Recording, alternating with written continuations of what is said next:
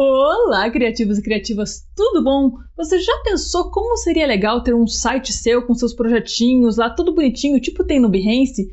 Pois é, nesse vídeo eu vou te apresentar uma ferramenta bem legal que é o Adobe Portfólio, que ele está incluso para todo mundo que assina a Adobe, beleza? Então, se você quer saber como você pode ter o teu site com teus projetos e tudo mais bem legalzinho, Fica comigo porque nesse vídeo eu vou te mostrar tudo bem certinho, como funciona, como construir e apresentar a plataforma de forma bem completinha, beleza? Mas claro, antes eu devo dizer que eu sou a Maiane, eu sou designer, e se você quer muito conteúdo bem legal sobre design, Photoshop, Adobe XD e muita coisa bacana, já se inscreve no canal e acompanhe também minhas outras redes sociais, tem o um link para todas elas aqui na descrição, beleza? Então bora pro PC? E eu já tô aqui no PC prontinha para mostrar para vocês essa ferramenta super legal que é o Adobe Portfólio. Então bora lá para mostrar para vocês. Primeiramente, eu vou mostrar, ó, olha só que bacana. Esse daqui, ó, é o meu site hoje por pouco tempo, mas por enquanto ele ainda está assim. E ele foi todo feito utilizando o Adobe Portfolio. Olha, ele tem aqui a minha tela inicial, ele tem aqui, ó, eu posso entrar nos projetos, visualizar e tal e tal. Ele carrega lá bonitinho, enfim. Eu também posso aqui, ó, entrar em contato. Isso é uma coisa que eu achava que ninguém usava, gente. Eu descobri que as pessoas entram em contato via site justamente porque eu estou usando o Adobe Portfolio, enfim, a pessoa pode entrar em contato tudo mais. Aqui eu até configurei umas páginas extras com freebies e coisa assim, ó. E tudo diretamente feito pelo Adobe Portfolio, sem código nenhum, e ele puxa os projetos diretamente do Behance. Esse é o mais bacana do Adobe Portfolio, que esses projetos aqui, ó, se você olhar, por exemplo, ah, esse projeto aqui. Olha só que bacaninha, pá ele é uma landing pages, enfim. Isso aqui, ó, exatamente o que tá aqui no meu Behance. Olha só esse projetinho aqui, ó, bacaninho. E e é o mesmo projeto. E olha só, ele puxa automaticamente o que tá aqui no teu Behance e coloca no teu site bonitinho, enfim. E se você já assina Adobe, ele já tá incluso na tua assinatura, é só usar. E você pode ainda redirecionar para um domínio teu. Por exemplo, o meu é no maiane.com.br. Então, dessa forma, você consegue criar um site bem bacana. Mas como é que eu faço isso? Para você fazer isso, você tem que acessar esse sitezinho aqui, ó, o Adobe Portfólio, portfolio.adobe.com. E aqui, ó, nessa tela aqui, o meu já tem alguns sitezinhos, enfim, mas você vai vir aqui, ó, em novo site. Ele tem alguns modelos bem prontinhos e não tem como fugir muito desses modelos, sabe? Isso é uma limitação, mas perto do que ele faz está ótimo. Para você que às vezes manda o teu portfólio no Behance, é muito melhor ter um sitezinho seu, né, com teus projetos lá bonitinhos para mandar para o cliente. Por exemplo, ó, aqui você pode vir aqui você pode mandar, você pode visualizar o tema, qualquer um deles. Ó, aqui você vai mudando os temas para você visualizar, ver como é que é, tipo, a apresentação do projeto e tal. Você pode mudar de tema. Ah, por exemplo, sei lá, eu gostei. Vamos ver, eu gosto. Marina, não quero. Eu gosto desse aqui, André, sei lá, chute. Aqui você já vê como é que é a página de contato e tal. Aqui dá pra ver ó, como é que ele fica em tablet, como é que ele vai ficar no telefone, enfim. E a hora que eu apertei, ah, eu gostei desse aqui, mandei usar esse tema, ele já cria teu site e depois que ele criou o site, ó, ele já alimenta o teu site diretamente com os teus projetos. Aqui, ó, já tem o meu kit, já tem todos os projetos que estão no meu Behance, ele já puxou para o site e ele te deixa alguns, um certo nível de personalização. Ó. E aqui você pode mudar o texto da forma que você quiser. Eu sou a Mai. Sou a Mai. Olá, deixa eu colocar uma vírgula porque toque, né, gente? E se você quiser, você pode mudar também ó, esse textinho aqui embaixo. E aqui, ó, se você vier em páginas, por exemplo, você pode escolher, por exemplo, ah, eu não gosto desse projeto que está aqui. Eu posso simplesmente tirar ele e ele já some teu, da tua página tranquilamente. E depois é bem fácil, mesmo que o teu site esteja num domínio, é bem fácil de você editar na hora mesmo. Por exemplo, o meu site está encaminhando para o meu domínio, mas eu também consigo editar facilmente. Além disso, ele também, aquele integrações, ele só mostra o Behance, o Lightroom e o Adobe Stock. Caso você tenha alguma dessas outras carinhas e queira adicionar aqui também, é tranquilo. É, aqui é o tema, caso você queira mudar, mas a gente acabou de escolher o nosso tema. Configurações, ele tem algumas coisas bem legais para SEO, sabe? Aqui, ó, o nome do domínio. Se você quiser conectar o teu domínio, você consegue. Só que assim, se você for conectar o teu domínio, o que eu recomendo é que você entre em contato com a hospedagem do seu domínio. Por exemplo, o meu está no HostGator. Eu sempre entro em contato com o suporte deles lá, porque tem que adicionar uns registros, CNAME, uma coisa mais técnica. Então daí vale a pena, entre em contato com a, hospedagem lá, pede para eles te ajudarem caso você não consiga. Mas é bem tranquilo e é bem rápido o processo. E aqui, ó, em página inicial, você pode escolher qual a página que você quer que inicie. Por exemplo, se abrir meu site, eu quero que esteja nesse projeto aberto, eu posso selecionar um projeto específico. Analytics, isso é bem legal se você começar a crescer e você quiser saber quem que está acessando, quantas pessoas, de onde, enfim, você pode integrar com o Google Analytics. Otimização de pesquisa, isso aqui eu recomendo pra caramba se você for criar o teu site lá. Otimize para pesquisa. Como assim? Coloca aqui um título, por exemplo, aqui Maiane Gabriele, mas coloca alguma coisa, tipo UI, UX designer, é, algo que acrescente, algo.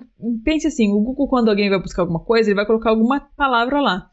E é essa palavra que a gente quer que te encontre. Então coloque sempre uma ou duas palavras-chave, por exemplo, ah, UI UX designer. Se você é isso que você está focando, coloque isso no título, repita isso na descrição. Essa descrição é aquele textinho que aparece no Google quando alguém pesquisa teu site. Então faça algo chamativo, algo que faça as pessoas entrarem quando elas te encontrarem no Google, por exemplo. Palavra-chave, tudo que você puder colocar aqui, coloque porque vale a pena e vai deixar o teu site mais fácil de ser achado. Isso é bem importante também. Aqui, ó, meta tags, aquela imagenzinha que fica no cantinho do site, sabe? Quer ver, ó? Essa imagenzinha que fica aqui, ó, você pode alterar. Por exemplo, na minha tem essa carinha feliz. Foi porque eu configurei aqui e fiz o upload da minha imagem. Então tem muita coisa que vocês podem, ó, configurar aqui e é bem bacana. Na hora que você der um concluído, você já vai poder alterar rapidinho. É, outra coisa, ó, eu recomendo, se você for mexer no estilo do teu site, primeiro mexa aqui. Como assim? Edite tudo, por exemplo, eu quero mudar a fonte, eu quero mudar o tipo muda aqui. Por exemplo, ah, o fundo eu não quero que seja branco, já muda aqui de cara. Eu quero que seja rosinha em todo o meu site, beleza? Então já mude ali essa cor de fundo.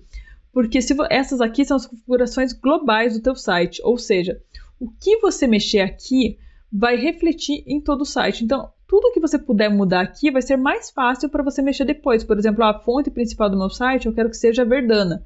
Você pode até adicionar outras fontes aqui, tem bastante coisa, é só pesquisar a fonte que você quiser. Se for fonte do Google, normalmente ele já acha e já baixa para você. Por exemplo, ah, eu quero essa abolition, sei lá.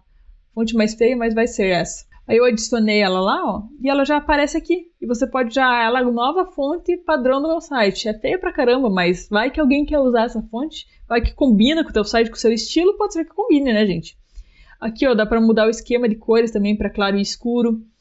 E aqui, ó, tem outras coisas que você pode mexer, como por exemplo, ah, eu não quero que o conteúdo fique, quero que ele fique menorzinho, numa área menor do meu site, não sei porque você iria querer isso.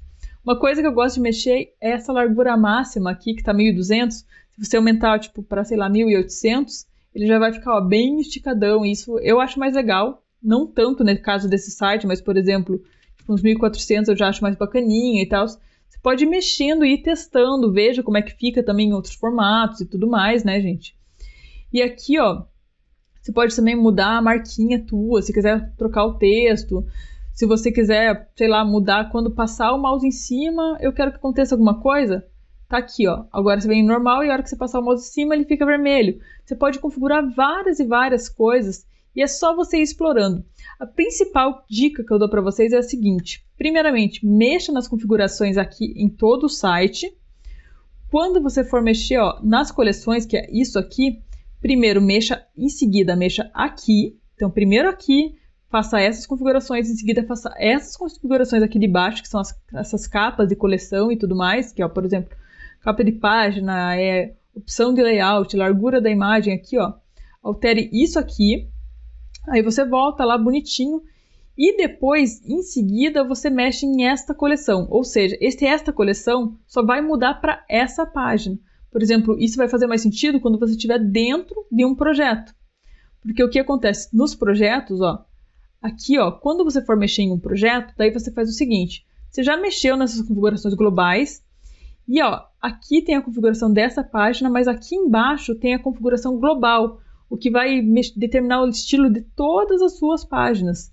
Então, primeiro mexa aqui, quando você for começar a mexer dentro dos seus projetos, Primeiro, mexa, por exemplo, lá no container de todas as páginas. Eu quero que todos tenham 1400.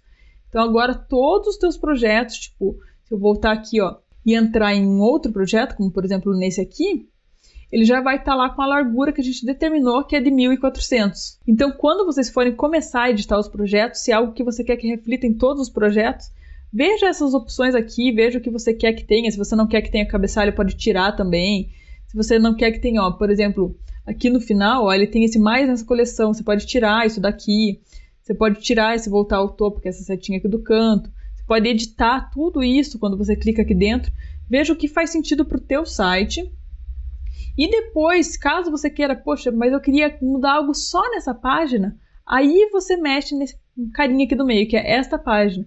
o que acontece? Daí ele vai mudar, por exemplo, a cor do fundo somente nessa página. Por exemplo, eu quero esse vermelho feio pra caramba só para dar para ver bem, somente nessa página, ele vai mexer somente nessa página. Ó, quando a gente mudar aqui e entrar em um outro projeto, como por exemplo voltar para esse aqui, ele não vai estar tá com o fundo vermelho conforme a gente colocou naquele anterior.